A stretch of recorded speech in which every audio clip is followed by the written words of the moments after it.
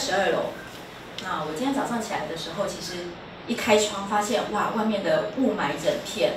所以其实那个心情是非常非常非常的沮丧的。那为什么会希望带大家去熬谷，去出走，离开这个学校的地方？倒不是去避空屋这件事情，而是人见到这个环境的时候，其实你会有一个对自然的憧憬，跟对自然的感受跟感动。那我这边有一个我自己很震撼的生命故事跟大家分享，所以请大家先静下心来，三十秒的时间。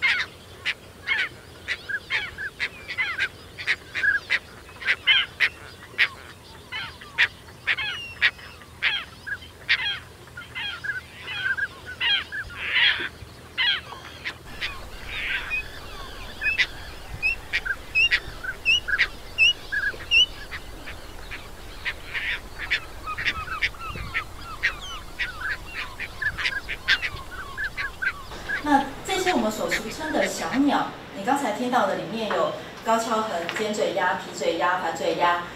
大冠鸠、呃黑面琵鹭，总共我可以念出来将近一百种的鸟，但是我今天昨晚上没睡好，还没有办法背出来，本来预计要在三十秒内背出，这样一长串背出来这样子，但是这个是熬补给大家的震撼。那这是一个非常非常有故事的地方。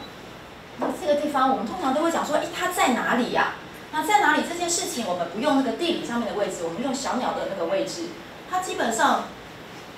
在飞飞飞的时候，就看到台湾啊，啊台湾飞飞飞就看到这个地方，它就下来了。所以它在生物地理上，它是一个非常非常特殊的地方。那它在历史上面也是一个非常特殊的地方。怎么样子特殊的地方？它其实是，我觉得我们人可以去检视我们人跟环境从头到尾开始的这个过程。怎么说？他的故事从最开始，他就是一个人定胜天的代表，就是那个年代觉得哦人好万能哦，我什么东西就把它往下填就是了。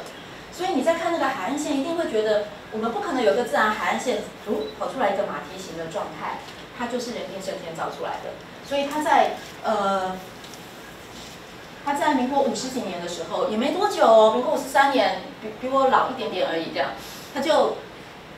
找了一堆人，去想办法填啊填啊填啊填啊填啊，把它填出来，就变这样。所以它是填了一千七百多公顷的地，变成了一块这样子的所谓的农耕地。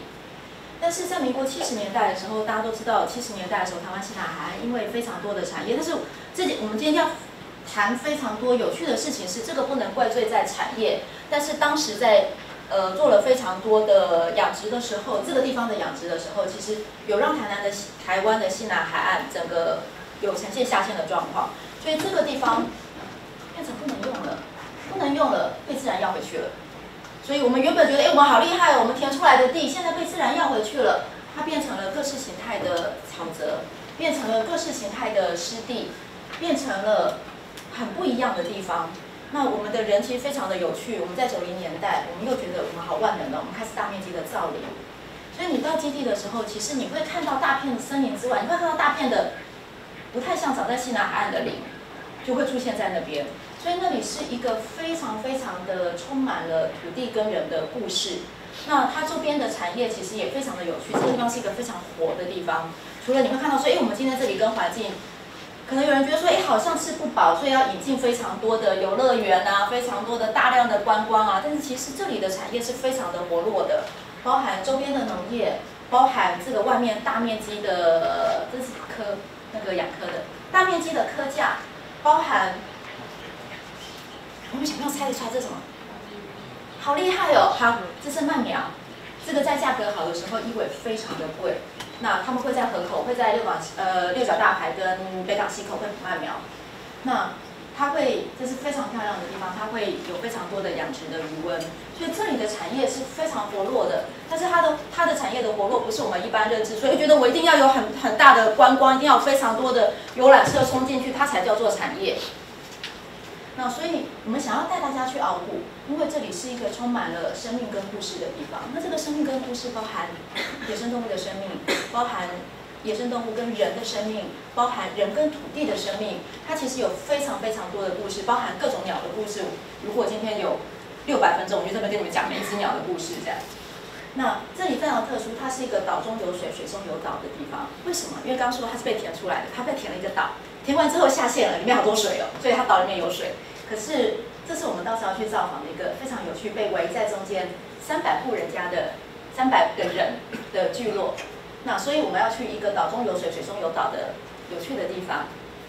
那这是一个人跟感动人怎么去感动的地方。你看到的这一排的大哥大姐，就是到时候会跟我们一起相处的大哥大姐。那都是当地人，那他会告诉你说，他二十年前。是去网鸟杀鸟的，还会告诉你说哪一只鸟的血最好喝，冬天最补补身这样子。但是现在他们是当地的守护者，那每一只大炮都是他们自己掏腰包买的。那你会看到这些大哥大姐可以做什么事情？他可以在国际的黑面皮肤的网站上登录这个所谓的鸟的那个细放环，就是知道说，哎，哪一只飞来台湾了，去登记在国际的网络上面。所以这里是一个充满人跟充满感动的地方。所以我们要带大家走进老谷，去做什么？去重新感受这个地方人跟产业的关系。那我们在那里比较不好意思，今天没有用鸟声吓到大家，因为那个是我大三的时候第一次见到师弟，第一次被吓死的感觉。所以你会在里面让大家，尤其是城市长大的小孩，试试看什么叫做被鸟吓死的感觉。所以这个是希望大家有兴趣的话，可以来加入阿虎的工作哈。谢谢。